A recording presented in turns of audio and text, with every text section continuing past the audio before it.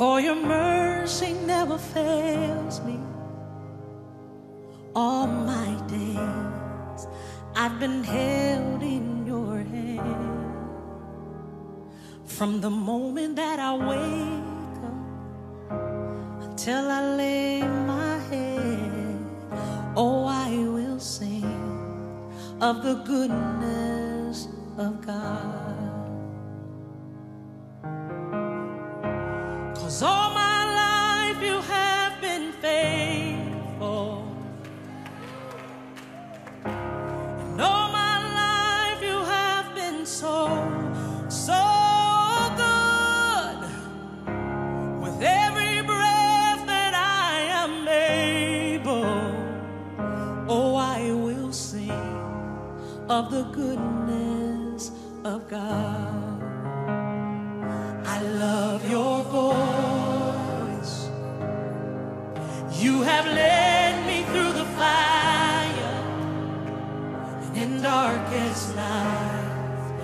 You are close like no other. I've known you as a father. I've known you as a friend. And I have lived in the goodness of God. Hey!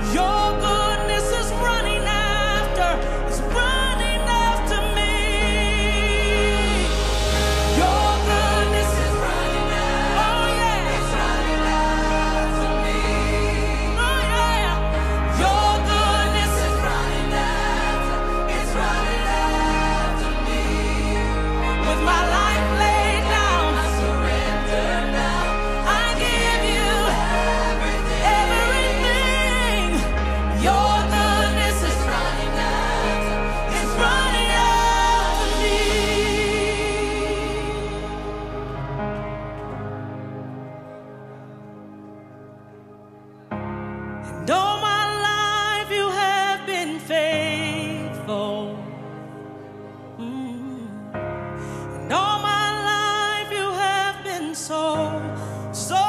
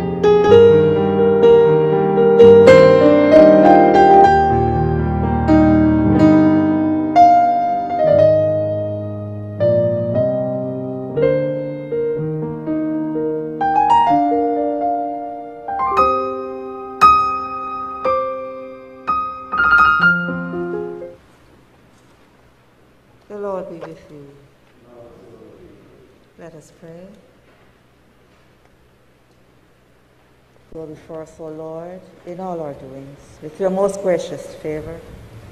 Further us, O Lord, with your continual help. And in all our works, begun, continued, and ended in you, we may glorify your holy name. Finally, by your mercy, attain everlasting life through Jesus Christ our Lord. Jesus, resurrection, and I am the life. He who believes in me, though he die, yet shall he live. And whoever lives and believes in me shall never die. The steadfast love of the Lord never ceases. His compassion never fails. Every morning they are renewed. Jesus said, Let not your hearts be troubled. Believe in God believe also in me. I am sure that neither death nor life, nor angels, nor principalities, nor powers, nor things present, nor things to come, nor height, nor depth, nor anything else in all creation will be able to separate us from the love of God in Christ Jesus our Lord. If we live, we live to the Lord. And if we die, we die to the Lord. So then, whether we live or whether we die, we are the Lord's. For to this end Christ died and lived again, that he might be Lord both of the dead and of the living. We brought nothing into this world, and we take nothing out.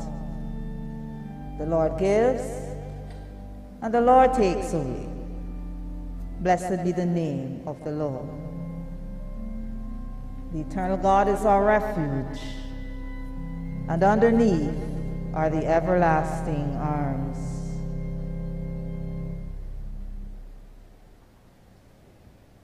I first take this opportunity to express on behalf of the parish of St. Luke our sincerest condolences on the passing of our dear brother Malcolm O'Brien.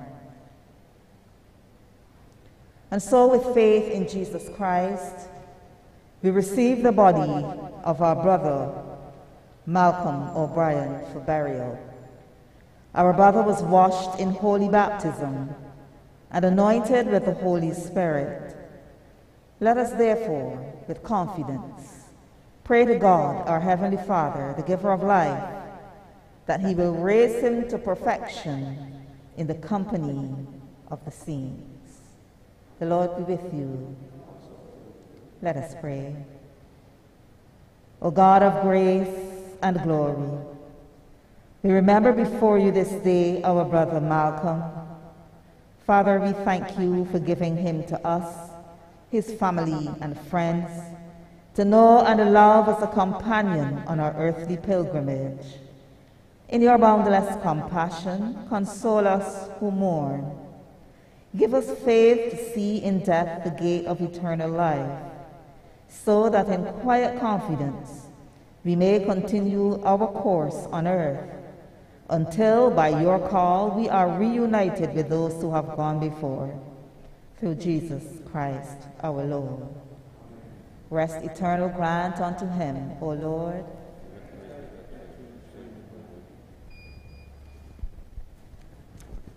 Our opening hymn, 463. 463.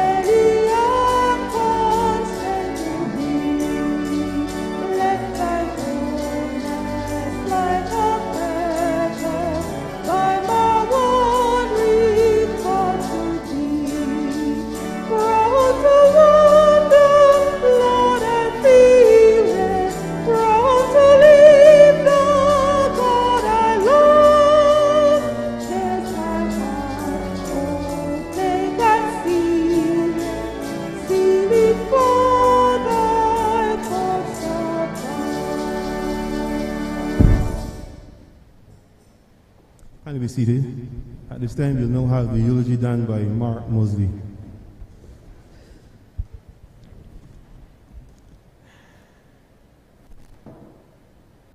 First and most of all, I want to thank you all for coming today to my dad's memorial service. I especially want to reach out and thank my cousin Joan Moseley, who has done an amazing job for organising this memorial service and supporting me and Dad. I start Dad's life with his arrival in the UK in January 1955. Dad was joined by my mum in September 1955 and they lived in North London. I can't imagine how their life was at that time as they were adapting to a different culture and weather so different from life in Barbados. Dad started working for the National Union of Rail, Maritime and Transport in February 1955. The organisation that he worked for is now known as Transport for London as an underground train driver. One benefit for me was that I could travel to London and did not have to pay. Until he reached 16, until I reached 16. Then they took the passes away from me. Dad would eventually become a station area manager and retire in 1991. My parents returned to Barbados in 1991. Dad then embarked on another phase of his life, building site foreman. He helped fellow returning Barbadians to build their own houses. He liked the sense of achievement on seeing a plot of land transformed into a beautiful house. Dad had two passions in his later life Caribbean cruises and gardening. As a way of seeing other Caribbean islands and meeting new people, cruises was the perfect way. He was always planning the next cruise as soon as they had disembarked from the ship.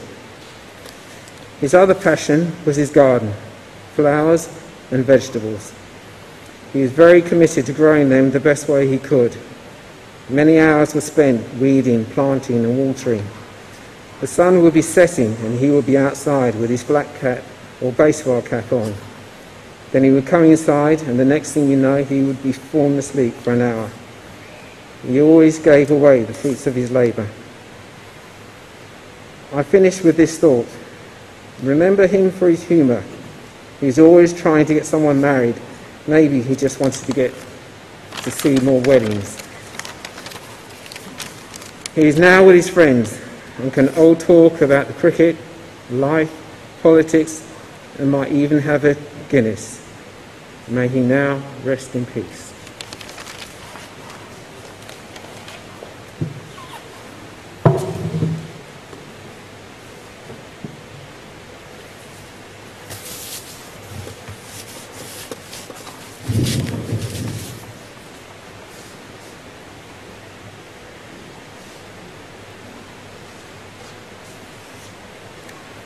We'll now have a tribute in song by yours truly.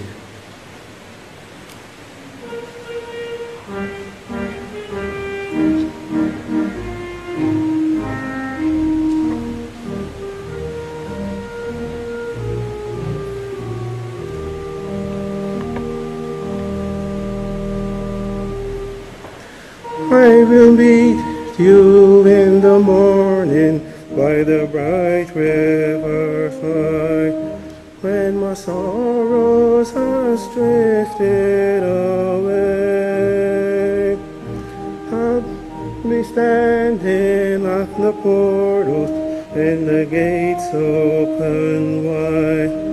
At the close of life's long dreary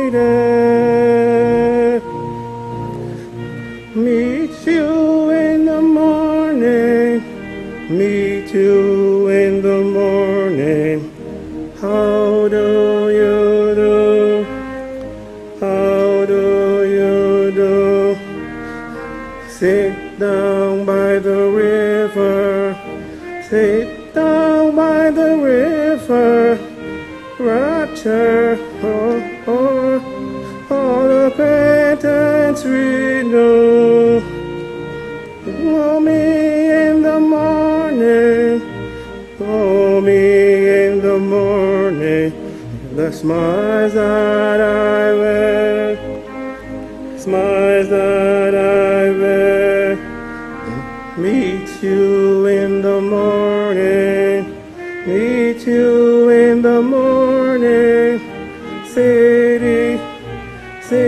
bell, that city bell four square.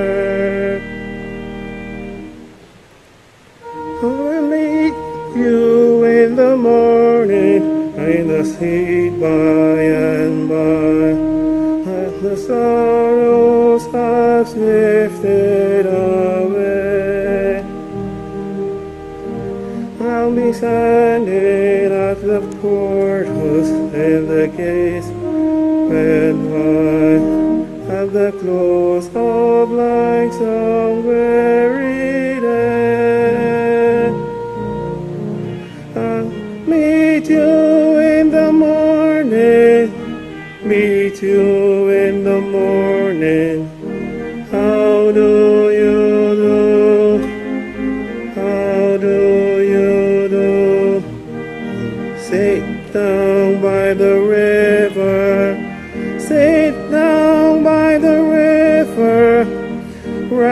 Her acquaintance acquaintance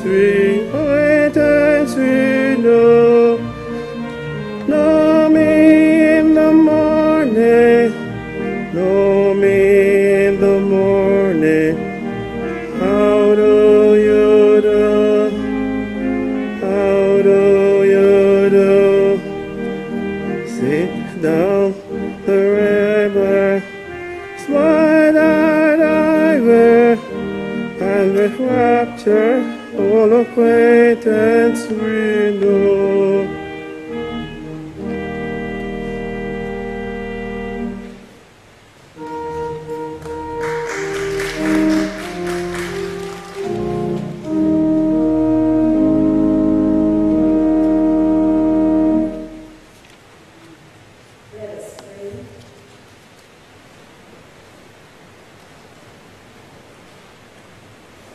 God, we remember before you today your servant Malcolm O'Brien, and we pray that having opened to him the gates of larger life, you will receive him more and more into your joyful service, that with all who have served you in the past, he may share in the eternal victory of Jesus Christ our Lord, who lives and reigns with you in the unity of the Holy Spirit, one God, forever and ever.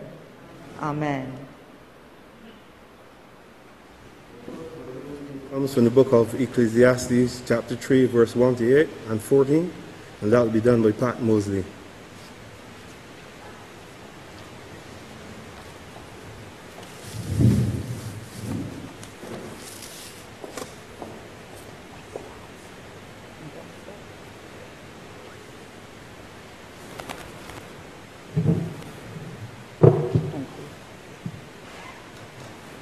Good afternoon. For everything there is a season, and a time for every matter under heaven. A time to be born, and a time to die. A time to plant, and a time to pluck up what is planted. A time to kill, and a time to heal. A time to break down, and a time to build up.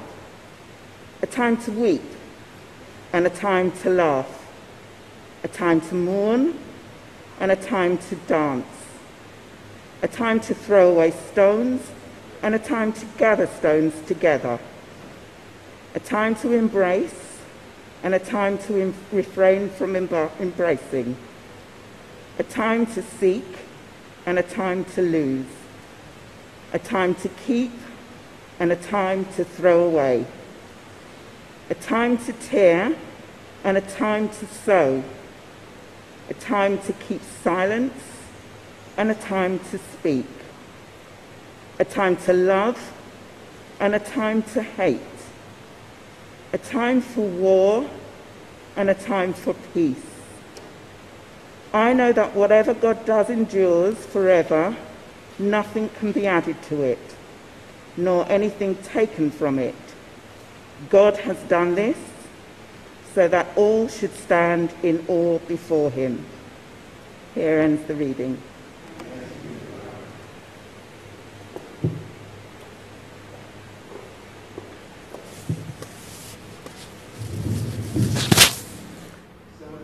This afternoon, Psalm 23, Crimond version.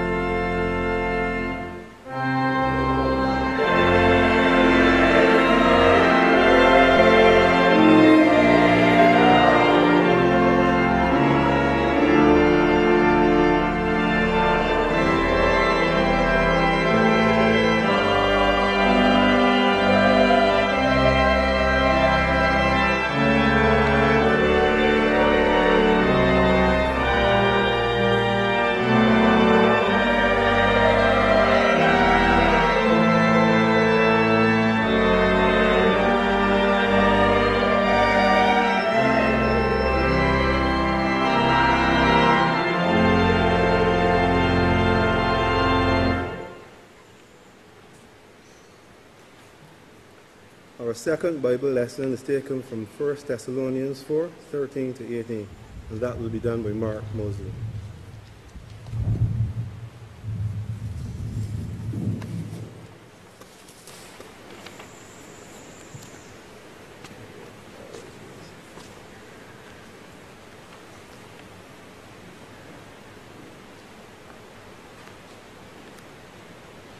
But we do not want you to be uninformed brothers and sisters, about those who have died, so that you may not grieve as others do have no hope. For since we believe that Jesus died and rose again, even so, through Jesus, God will bring with him those who have died. For this we declare to you by the word of the Lord, that we who are alive, who are left until the coming of the Lord, will by no means precede those who have died. For the Lord himself, with a cry of command, with the archangel's call, and with the sound of God's trumpet, will descend from heaven, and the dead in Christ will rise first. Then we who are alive, who are left, will be caught up in the clouds together with them to meet the Lord in the air. And so we will be with the Lord forever. Therefore, encourage one another with these words. The word of the Lord.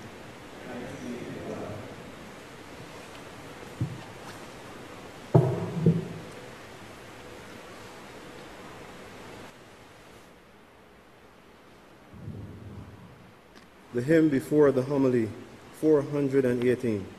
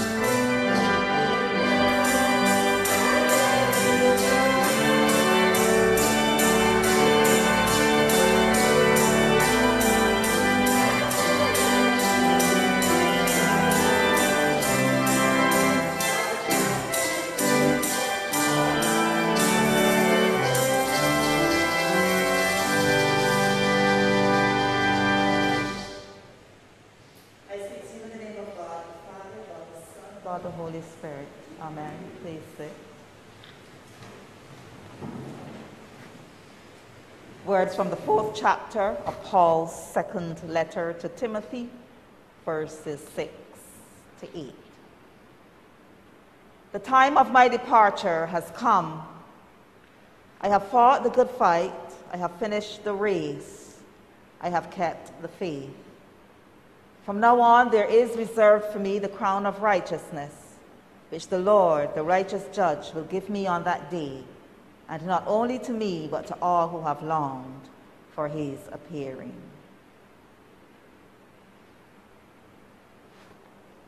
What are some of the things that we see when we go to the airport?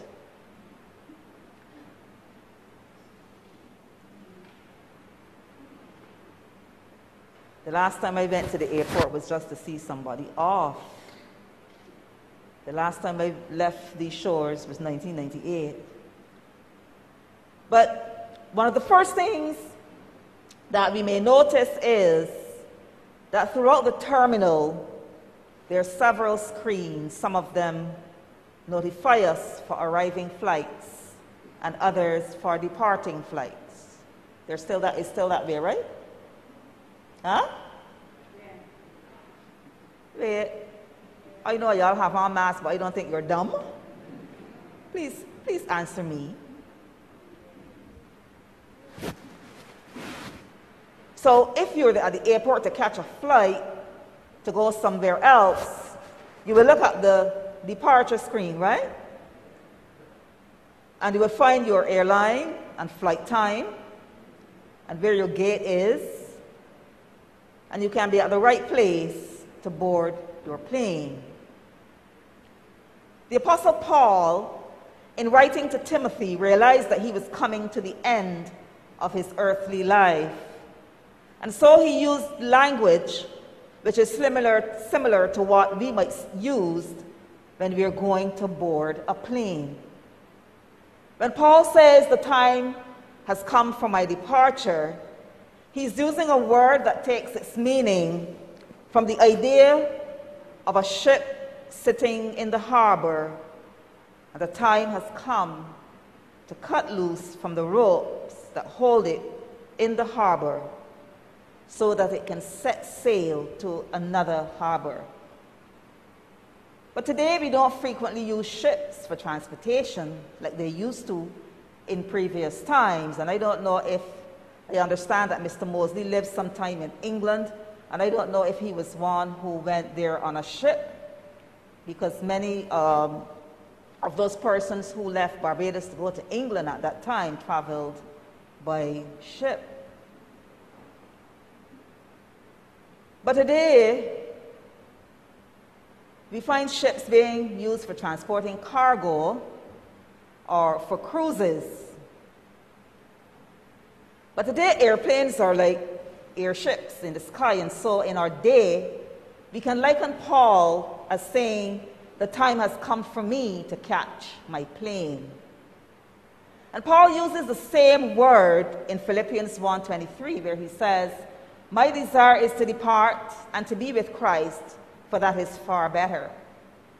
Now usually when we board a plane to go somewhere, we will experience mixed emotions, don't we?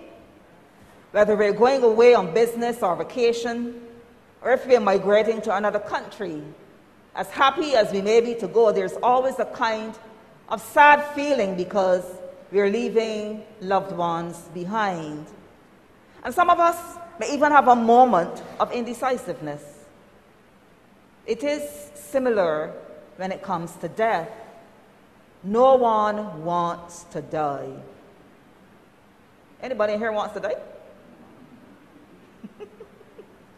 Paul himself said in verse 22 If I am to live in the flesh, that means fruitful labor for me. And I do not know which I prefer. I am hard pressed between the two.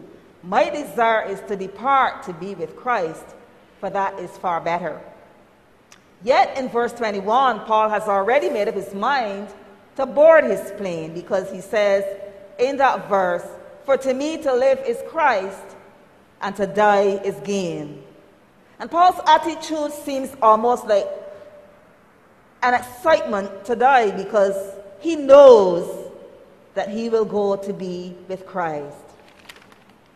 And that kind of attitude is completely foreign to people in today's world. People we find who do not know Christ seem to have this great fear of death. And while death is somewhat unknown, for the Christian, it is different because Paul himself instructs us that even when we lose our loved ones, we should not grieve as people who do what? Have no hope. Because death is not final, it is not the end. And Christ our Lord has conquered death, and therefore we have no need to fear death. For Christians, death is like a departure. We're simply cutting loose from this life and setting sail for the next. And I believe it is an exciting journey. Why was Paul and why should we be so excited to depart this life when our time of departure comes? Our text today tells us. First, Paul says, I have fought the good fight. And Paul uses this language that basically means to contend for a prize, to struggle. And Paul indicates that life has been a great struggle for him at times. And brothers and sisters, we all know exactly what he means, don't we? Because life can be at times a real struggle. And I'm sure it is at this time for the Ukrainians. And, and then we have the elderly, like Mr. Moseley, in old age, sickness, spending time in hospitals or nursing homes. And these things are never easy. Living alone, our partner gone, family neglect, loneliness, struggling with health problems, especially in our old age, can be a real battle. Yes, Paul's life was a real struggle at times, and he tells us, he says, I, I have worked harder, been in prison more frequently, being flogged more severely, and being exposed to death again and again. Five times I received from the Jews 40 lashes minus one. Three times I was beaten with rods, and once I was stoned. Three times shipwrecked, and for a night and a day adrift at sea. I have been constantly on the move. I have been in danger from rivers, in danger from bandits, in danger from my own countrymen, in danger from Gentiles, in danger in the city, in danger in the country, in danger at sea, and in danger from false brothers and sisters. And beside that, I am under daily pressure because of my anxiety for all the churches. I have labored and toiled and have gone without sleep I have known hunger and thirst. I have been cold and naked. All this we find in 2 Corinthians chapter 11. And the reason that Paul and you and I can face our departure time with confidence and calm is because, in spite of the battles we face, brothers and sisters, in spite of the tough times, we can have spiritual victory. So, for us who are Christians, we are encouraged to fight the good fight, to remain faithful even during the most difficult circumstances, just to hang in there no matter what, because we know that when we do, we will one day arrive at our departure. And our departure here means our arrival somewhere else. We know in heaven. And those of us who have not accepted Christ, is your life preparing you for death? The second reason Paul could be so positive about his departure, he says, I have finished the race. And we know Paul started the race. It started, when did Paul's um, race start? Can anybody tell me? It started when he met the Lord on the road to Damascus. And in racing, a good start is very important. And a sprinter will practice his start over and over again so that he can get out of the blocks quickly and get up to full stride as fast as he can. Brothers and sisters in Christ, we need to have a good start as well. And whatever we do, wherever we go, we should start with God. In our decision making, in all our endeavors, in our work, in our marriage, in our family, in our church. We cannot fail when we give top priority to our Lord and Savior Jesus Christ. And we can only achieve success when we place God at the forefront of all our endeavors. With Jesus in our boat, my brothers and sisters in Christ, we can indeed overcome the storms of life. But as important as a good start is, a good finish is critical. We can start out great sometimes, but if we give out before the end, then we have failed to finish the race. The same is true in our Christian lives. A good start is important. It, is important for us to get off the block and reach the full stride. But if we give up before the race is over, we have failed to finish the race. One of the most sorrowful things is when a person starts a race so well. I'm talking about the Christian race, so on fire for God. But then along the way, something happens. And some fall and don't want to get back up. Perhaps they get winded and decide the race is too difficult. For whatever reason, they give up the race because the finish, before the finish, and their lives end better, bitter or sad. But Paul faced his departure with calm and confidence because he had finished the race.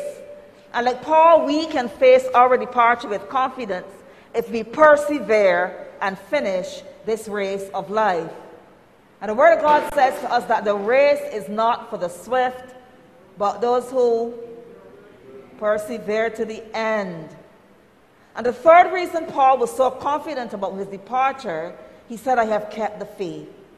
In spite of battle and struggles and difficulties along the way, in spite of the dangers and the temptations, Paul remained faithful to Jesus Christ until the end. And Jesus says in Revelation 2:10, "Be faithful even to the point of death, and I will give you the crown of life."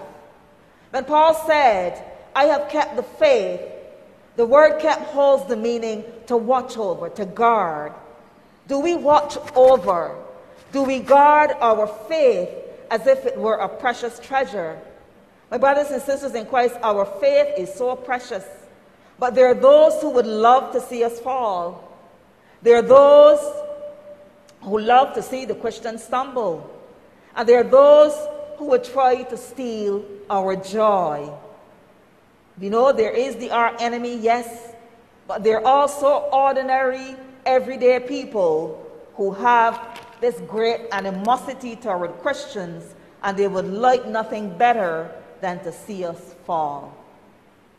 And if they could assist in the effort, they would. But Paul could face his departure with confidence because he had kept the faith. And as Christians, we can face our departure with confidence if we will keep the faith, if we will guard it as if it is the most precious thing we have. Because, brothers and sisters in Christ, it is.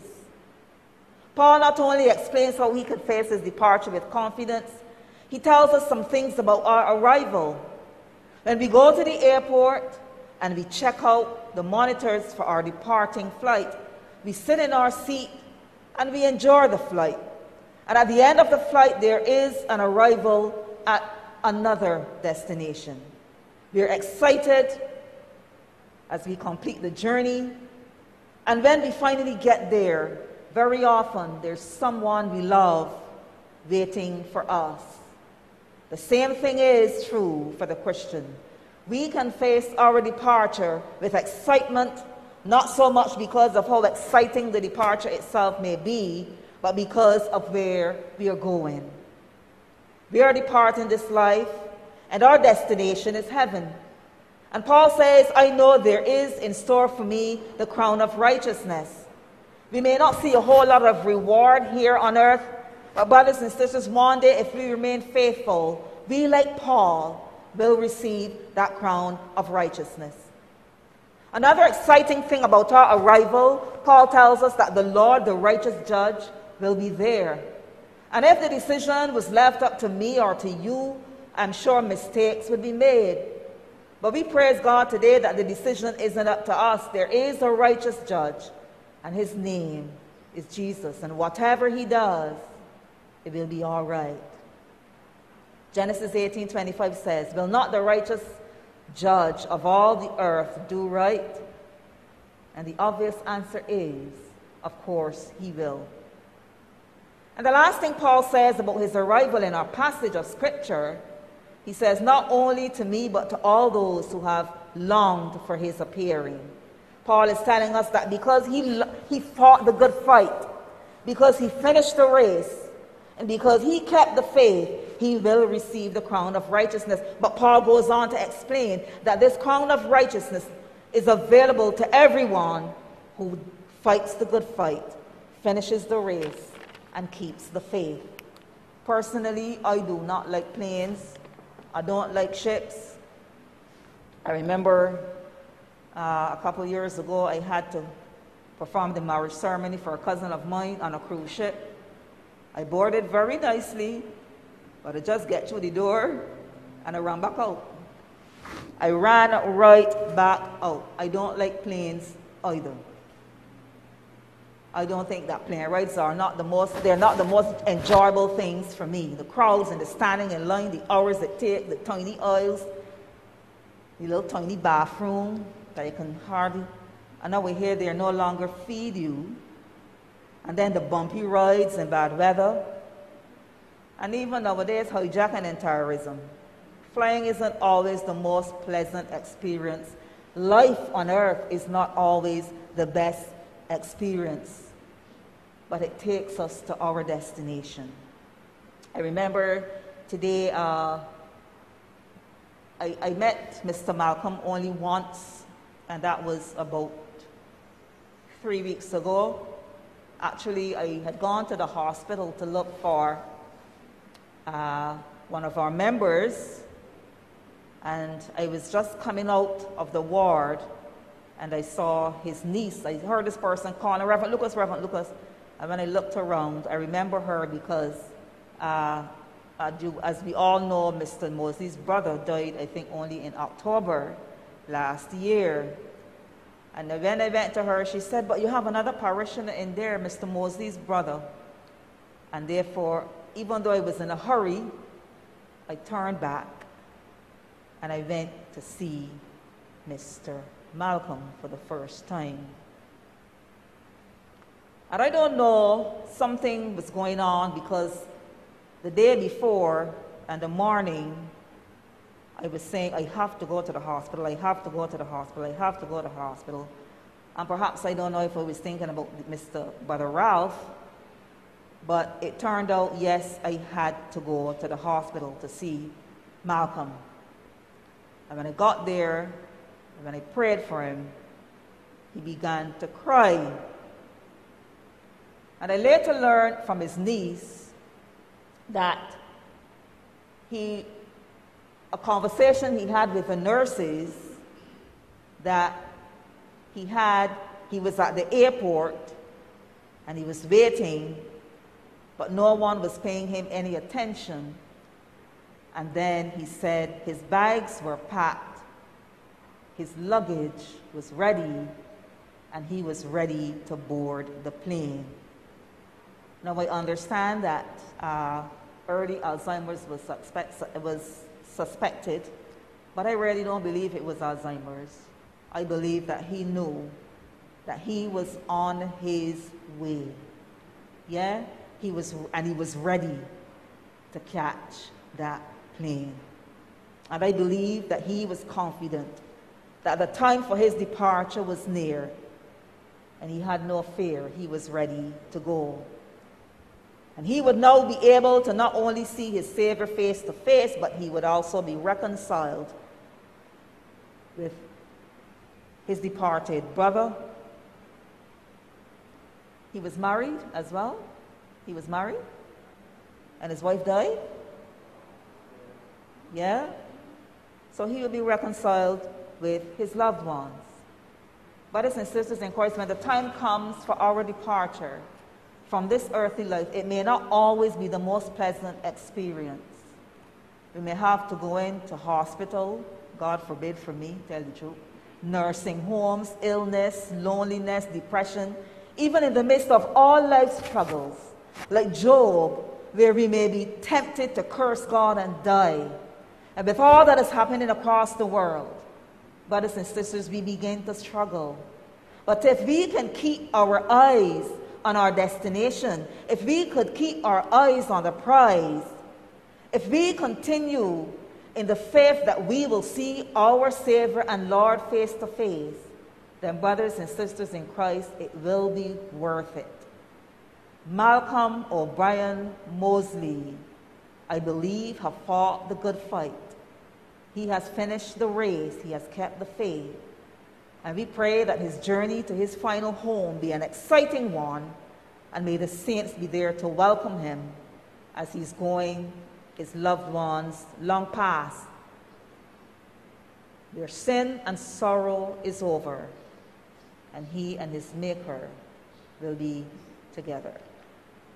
Rest eternal grant unto him, O Lord, and let light perpetual shine upon him. May he rest in peace and arise in glory. Amen. Let us affirm our faith in the words of the Apostles' Creed in your booklet. I believe in God. Please stand. Please stand. I believe in God, the Father Almighty.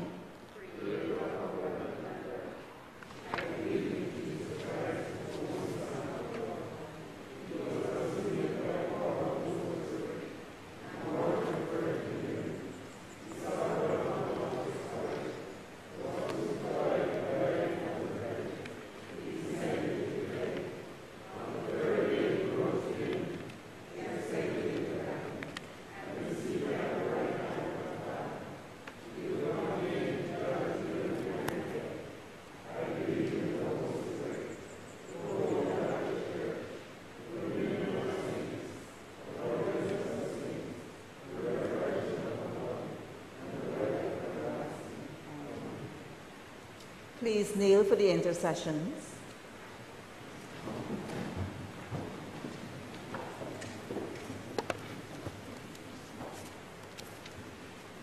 After each prayer, your response would be, Hear us, Lord.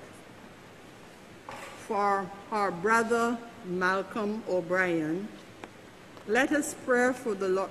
Let us pray to the Lord Christ, who said, I am the resurrection and I am the life. Lord, you console Martha and Mary in their distress. Draw near to us who mourn for Malcolm and dry the tears of those who weep. You wept at the grave of Lazarus, your friend. Comfort us in our sorrows. You raise the dead to life. You raise our brother Malcolm to eternal life. You promised paradise to the thief who repented. Bring our brother Malcolm to the joy of heaven. Our brother Malcolm was washed in baptism and anointed with the Holy Spirit. Give him fellowship with all your saints. he was nourished with your body and blood. Grant him a place at the table in your heavenly kingdom. Hear us, Lord. Comfort us in our sorrow at the death of our brother Malcolm. Let our faith be our consolation and our eternal life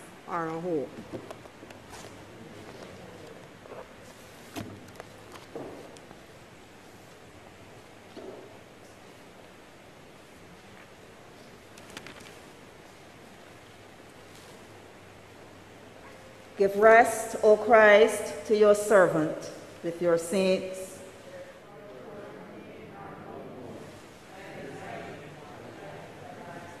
You only are immortal, the creator and maker of mankind. And we are mortal, formed of the earth, and to earth shall we return. For so did you ordain when you created me, saying, You are dust, and to dust you shall return. All of us go down to the dust. Yet even at the grave we make our song. Alleluia, alleluia, alleluia. With your saints.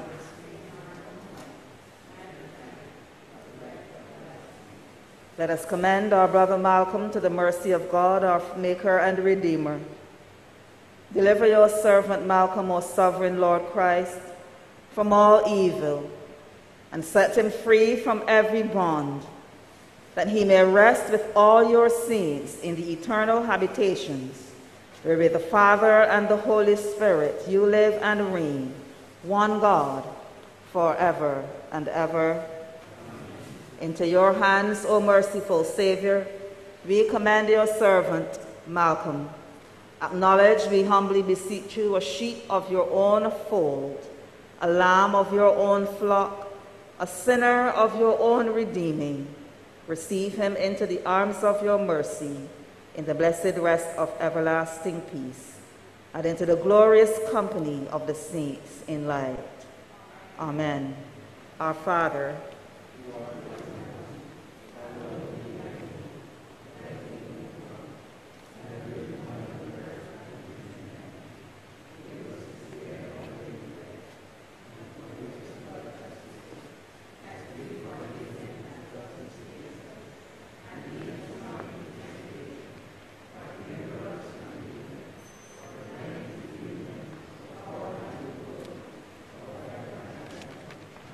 Amen. We will stand for our final hymn. Uh, because of the protocol, COVID protocol, we no longer pass around the plate, but there will be the plates at this door, and we are humbly asking that you put in uh, an offer. Uh, I'm sure that all of us see how clean and beautiful our graveyard is. Uh, so we ask him for any contributions you may offer us to upkeep, for the upkeep of our graveyard. And I thank you so much in advance. Please stand. Final hymn 689. Okay, just, just in a minute. Let us pray. May the God of peace, who brought again from the dead our Lord Jesus Christ, the great shepherd of the sheep, through the blood of the everlasting covenant, make you perfect in every good work to do his will, working in you that which is well pleasing in his sight, through Jesus Christ, to whom be glory forever and ever. Amen. Let us go forth in Christ. 689.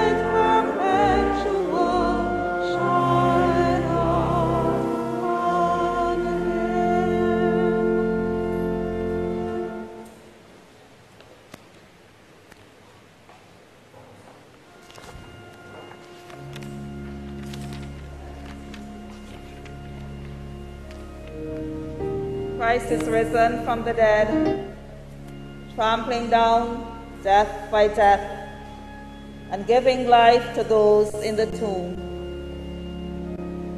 The Sun of Righteousness is gloriously risen, giving light to those who sat in darkness and the shadow of death. The Lord will guide our feet into the way of having taken away the sin of the world. Christ will open the kingdom of heaven to all who believe in his name, saying, Come, O blessed of my Father, inherit the kingdom prepared for you. Into paradise may the angels lead you. At your coming may the martyrs receive you and bring you into the holy city, Jerusalem.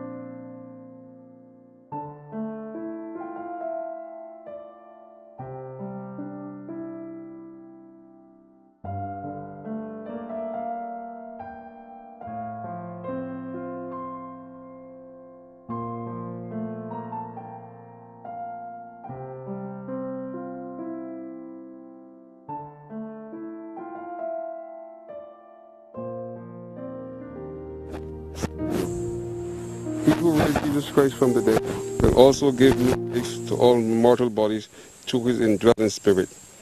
My heart therefore is glad, and my spirit rejoice. My body also shall rest in hope.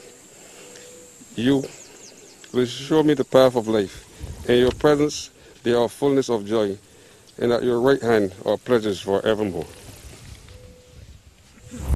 Heard a voice from heaven saying, Write this Happy are the dead who die in the faith of Christ. Henceforth, says the Spirit, they may rest from their labors, for they take with them the record of their deeds. In the midst of life, we are in death. To whom can we turn for help but to you, Lord, who are justly angered by our sins?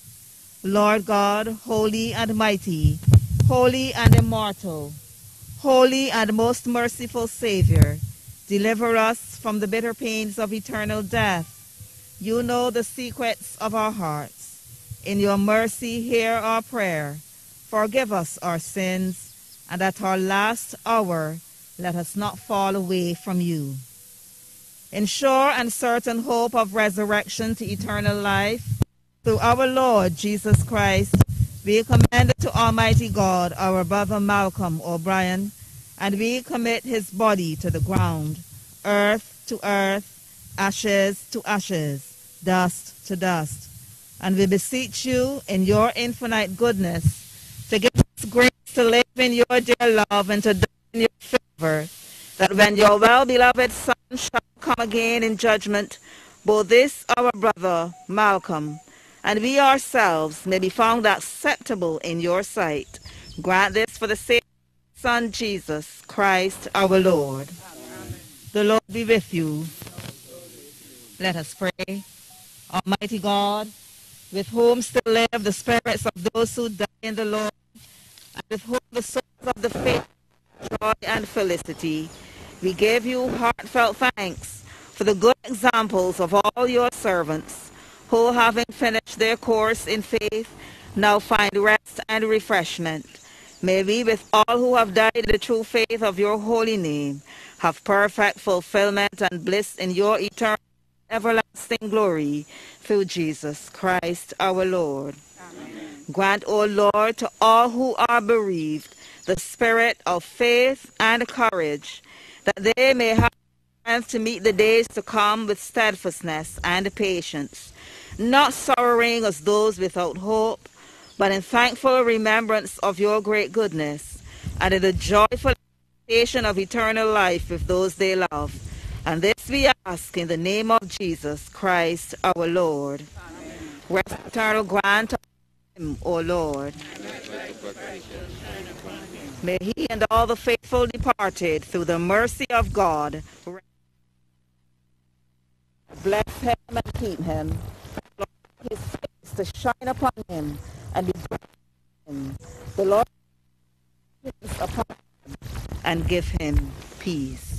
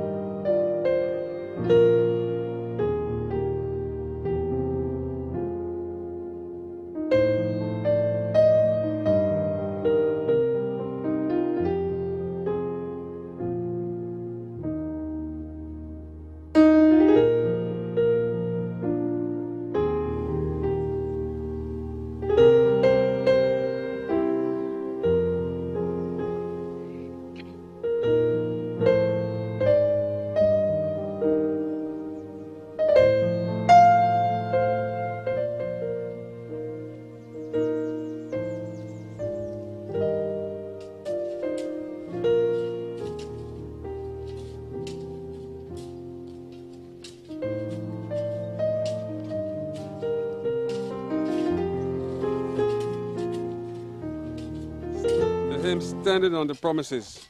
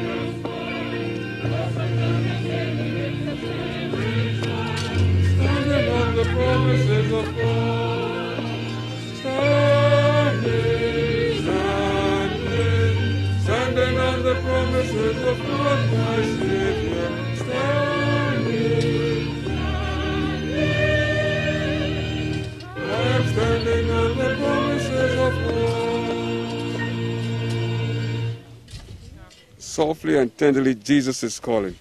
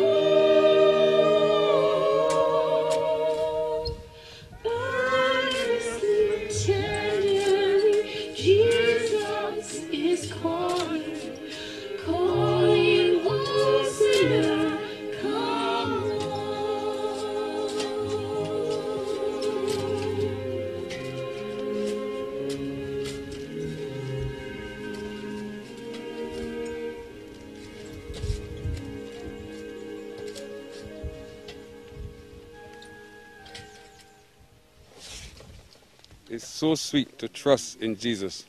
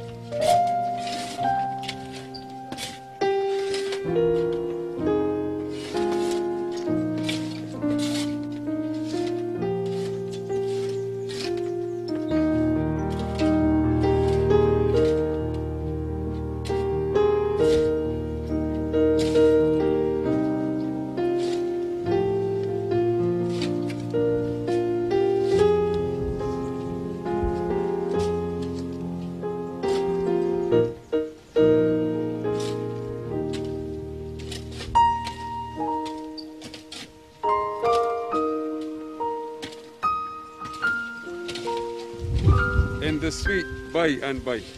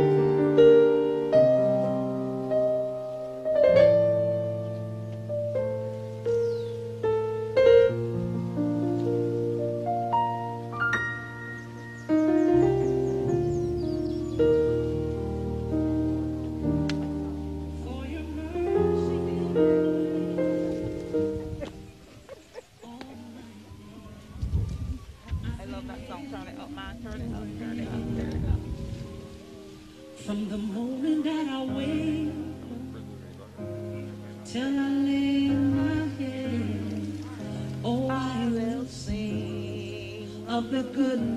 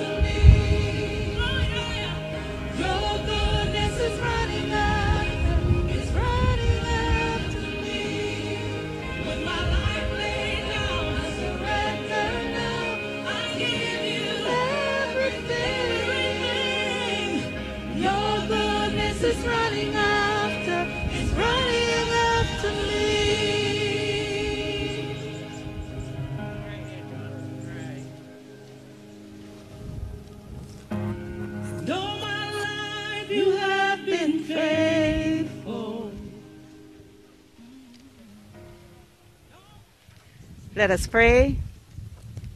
O God, the maker and redeemer of all mankind, grant us with your servant Malcolm and all the faithful departed the sure benefit of your Son's saving passion and glorious resurrection, that in the last day when you gather up all things in Christ, we may with them enjoy the fullness of your promises through Jesus Christ our Lord. Amen. And now unto him that is able to keep us from fa- falling and to present us faultless before the presence of his glory with exceeding joy, to the only wise God, our Savior, be glory and majesty, dominion and power, both now and forever. Rest eternal grant unto him, O Lord, and let light perpetual shine upon him.